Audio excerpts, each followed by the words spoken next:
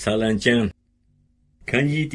139အငယ်1နဲ့2လူမျိုးအပေါင်းတို့သာရဖျားကိုချီးမွမ်းကြလော့